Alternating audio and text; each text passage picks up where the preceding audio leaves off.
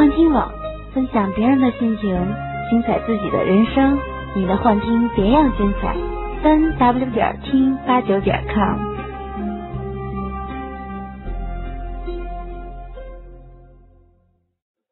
欢迎继续收听由桑子播讲的长篇玄幻小说《斗破苍穹》第七百四十八回。萧炎含笑点头，对着灰衣老者抱拳躬声说道：“那既然如此，就多谢老先生了。老夫筋骨，别叫什么老先生了啊！”灰衣老者嘿嘿的笑着，旋即目光在萧炎身上转了一圈，说道：“小家伙，你是炼药师吧？”这种气味，寻常人可是不曾具备的。萧炎迟疑了一下，对方明显在嗅觉方面有着特殊的天赋，当下他也没有隐瞒，轻轻点了点头。炼药师，哎呦喂，那东西实在太稀罕了。见到萧炎点头了，金谷眼中顿时掠过些许奇异的光芒，旋即笑眯眯的说：“你进去吧，啊，进去吧。那个小女娃娃有通灵白狐，通过这迷阵呢不成问题，但想要到达天山血潭，可还有不少阻碍呢。放心，老夫不是收了东西不办事儿的，会通知人。”额外关照一下你的。闻言，萧炎心头也是一乐，这个丹药送的不亏呀！这个老家伙果然是世金属族中地位不低的老者。既然得到了所需要的，他也不再多留，对着金谷拱了拱手，随后便转身进入了树门之中，望着萧炎。消失在树门之中后的身影，金谷不由得抚着尖尖的胡须，面露沉吟之色，低声喃喃道：“这个小家伙是个炼药师啊，就是不知道能否达到我们所需要的要求。要是可以的话，倒是能够省去不少的麻烦呢。”脚步刚刚踏进树门，萧炎的眼前就陡然一亮，旋即脑海中略有些许眩晕之感。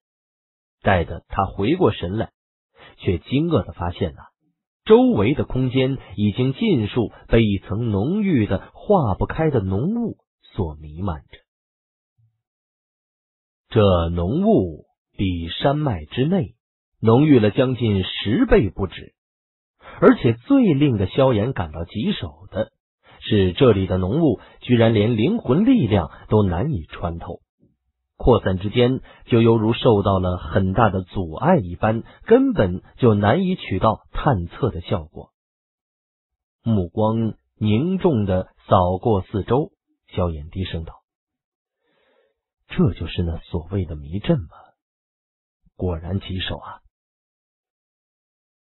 在萧炎低头自语间，突然感觉到手掌一凉，旋即纳兰嫣然的轻柔的声音就从身旁传来：“不要慌，是我。”紧绷的手臂缓缓的松懈，萧炎的目光顺着声音传来的方向望了望，却是愕然发现没有半个人影，但手上传来的触感却分明的告诉他，纳兰嫣然就在身旁。你不用看了，这迷阵能够阻碍人的视线，即便我们相隔很近，也是看不到对方的。我拉着你走，有通灵白虎引路，想要走出去并不难。似乎是知道萧炎心中的疑惑，纳兰嫣然的声音也徐徐的传来。闻言，萧炎这才微微点了点头，心头略有些庆幸。幸好此行遇到了纳兰嫣然呐，不然的话，即便是他也得被困在这迷阵当中了。浓雾弥漫，手掌那柔软的触感，就犹如握着一块上佳的玉石一般，娇柔的感觉，颇有一种令人爱不释手的味道。萧炎心中忍不住的一荡，不过这种情绪刚刚出现，就被萧炎迅速的压制了，旋即眼观鼻，鼻观心。任由纳兰嫣然拉着，一步步的缓缓的前进。这般安静的前行，持续了将近半个小时左右。萧炎方才察觉到周围的浓雾似乎逐渐的变淡了许多，身旁也传来了纳兰嫣然那如释重负般的轻声：“要出迷阵了。”哦。纳兰嫣然的声音刚刚落下，一阵阵风就迎面吹拂而来，周围浓雾顿时剧烈的波动，旋即飞速的后退，周围的景物也缓缓的浮现。出现在萧炎二人面前的是一座极为雄伟的山峰，而此刻的两个人。正处于山峰半腰处的下方，在那有些险峻的山路两侧，不断有着浑身金发的巨鼠窜过。美目望着那些金色巨鼠，纳兰嫣然提醒道：“这些就是噬金鼠，不要伤害他们，不然的话会惹怒噬金鼠族的。”哦，萧炎点了点头，走吧。半山腰处就是天石台，在那之后就有着世间鼠族所布下的一些关卡，只有成功闯过的，才有资格抵达天山血潭的顶处呢。天山台，闻言，萧炎眼眸微眯。哦，原来这里就是那唐英所说的天山台呀。而他说的，在这里或许有合作的机会。恐怕说的就是这种合作通过关卡的事儿吧。纳兰嫣然微笑道：“现在那里或许人不少，是金属族所设置的关卡一般都颇为困难。虽说能够走到那里的人不是弱者，但想要将之突破，还是有着不小的难度的。”萧炎笑了笑，眼中有些火热：“哼，既然如此，那就走吧。”可别让人领先把那八个名额给占了。话音一落，他脚尖一点，陡峭的石梯，身形就化作一道黑影，对着山腰处迅速的飞去。其后，纳兰嫣然也紧跟而上。天目山半山腰是一片极为宽阔的平台。平台使用岩石整齐的搭建而成，而平台的一侧尽头呢，是一条直通天目山顶的石梯通道。不过此刻的石梯之前，却是被一些人身鼠头的噬金鼠把守而入。在石梯之外的平台上呢，有着将近二十道人影错落其中。各自分成大小不一的圈子，或单个人，或两三人，或者更多的人。这些人散布在平台中，相互交头接耳，目光也是不断的对着平台的陡峭路途上扫去。按照时间呢，也快是迷阵要关闭的时候了。而到时候迷阵一关，也就是要开始闯关了。在人群中，一道七彩倩影格外引人注目。那宛如凤凰般高贵的气质，令得她轻易的就成为场中的主角之一。而这个女人，自然就是风雷阁的凤小姐了。在与身旁的一人随意的交谈间，彩衣女子美目也不断在石梯处扫过。唇角有着一抹淡淡的嘲讽之意，片刻后，轻轻的摇了摇头。看来他倒是有些高看那个人了。没想到连这天石台他都到不了。咣，一道钟鸣声缓缓的在平台上响彻，一道身材有些矮小的苍老的人影缓缓的走，目光淡淡的扫了一眼场中，旋即有气无力的说道：“时间到了，闯关开始吧。”见到这人开口。那五彩衣女子也彻底收回了目光，看来那个人果然不出所料，靠的不过是那道强大的灵魂力罢了。而那优势在这天幕山脉中却是荡然无存。就在所有人目光转移之际，突然有着破风声响起，旋即两道身影如箭一般的从石梯下闯入。最后，徐徐的落在平台上，一道清朗的笑声也随之传出。哈哈哈哈！抱歉，来了晚了一点，希望没有耽误大家吧。听着这道笑声啊，那彩衣女子目光一凝，缓缓的转过头来，看到那张笑意盈盈的年轻的脸庞，片刻后只能冷哼一声，别了过去。两道身影徐徐自半空落下，然后落在平台之上，现出身来，正是那最后抵达的萧炎和纳兰嫣然。两个人的出现，自然是引来了场中不少人的注意，一道道目光投射在两个人的身上。不过，除了少数人之外，大多数人都不认识萧炎二人。虽说最近萧炎因为和风雷阁之间的恩怨名头传得很响，但真要比起来呀，在一些人心中，他和凤小姐、唐英这等年轻俊杰相比，还是有着一些距离的。对于这些目光，萧炎倒是犹如未睹，视线在场中扫过。见到这里居然有将近二十来道身影的时候，心中不由得有些惊愕。他没想到这些家伙速度竟然这么快，他连夜赶路都未曾赶上来。当然了，这大多也是因为萧炎对路途不熟的缘故。而在场的这些人，基本上全部都对这天目山脉极为了解，而且一些近道。也知道的很清楚，和他们相比，人生地不熟的萧炎自然是要吃亏些的。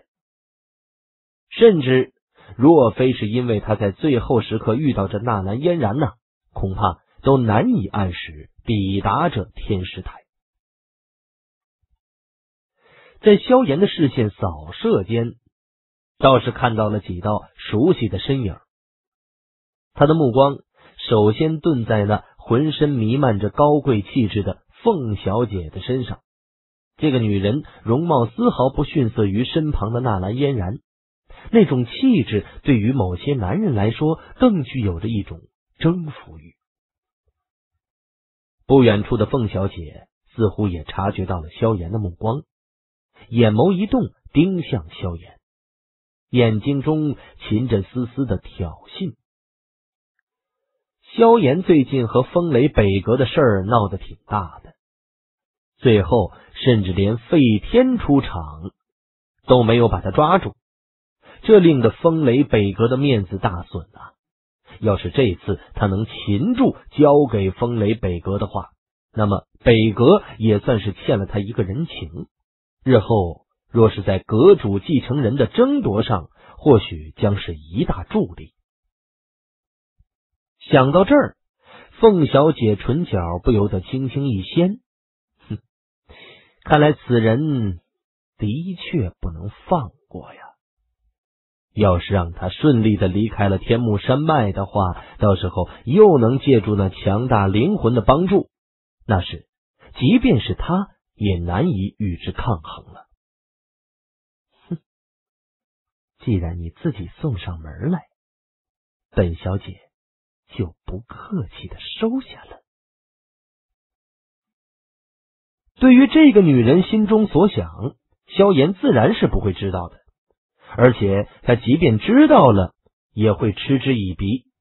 或许他的确忌惮风雷阁的那些老家伙，但是同辈人之中，能将他逼得狼狈不堪的人可是少之又少。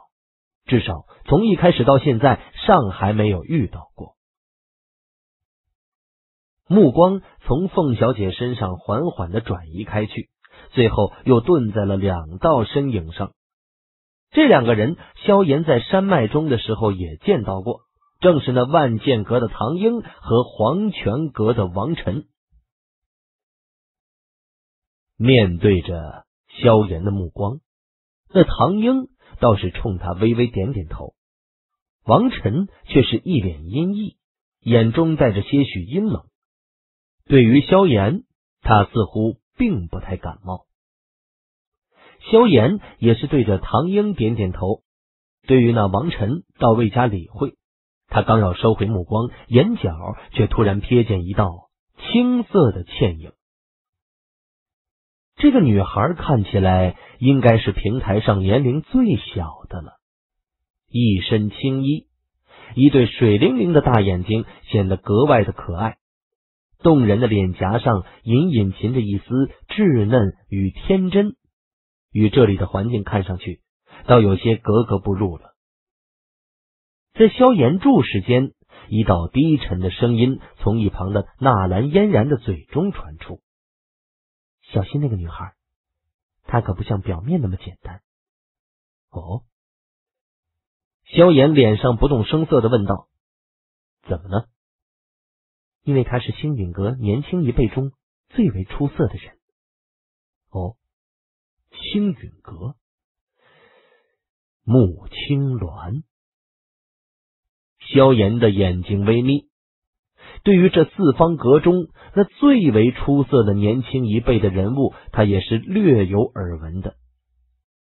是的，四方阁中青陨阁的弟子数量怕是最为稀少的，但个个实力出类拔萃，而这穆青鸾更是其中的佼佼者。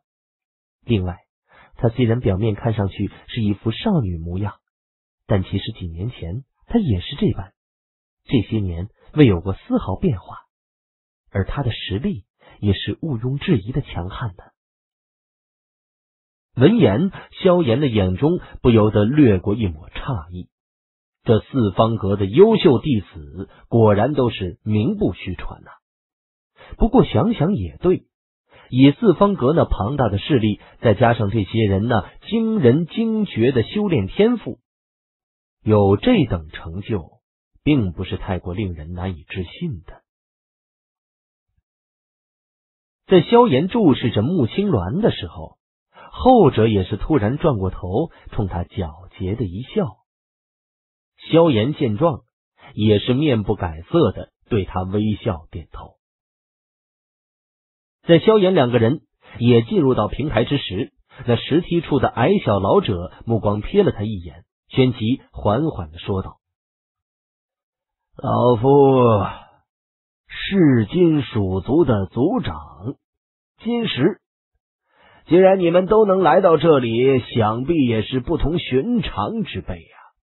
而且天目山的规矩应该都清楚吧？只有通过了我们所布置的关卡，才有可能到达那所剩的八个名额。在金石的身旁两侧，有着两头毛发暗沉金色的巨树。这两只噬金鼠啊，体型格外的大，而且那眼瞳之中也闪烁着不亚于人类的灵动和机智。这两只噬金鼠明显都是处于六阶的层次，想必应该便是这一次进入天石台的另外两个候选人了。只要他们能够突破斗皇。经历雷劫，那么就能化为人形，成为噬金属族的真正核心成员。平台之上，唯有这金石那有气无力的声音响起。虽然这个老者看上去似乎很是羸弱，但是在场的人都无人敢与其冲撞。对于这金石的名头，除了萧炎，大家都不陌生。当年那场发生在天山血潭的争夺大战，这个老家伙可是大展神威呀！即便是费天那等老妖怪出手，都未曾将之击败。由此可见，此人实力是何等的强悍了。好了，朋友们，欲知后事如何，敬请收听《斗破苍穹》第七百四十九回。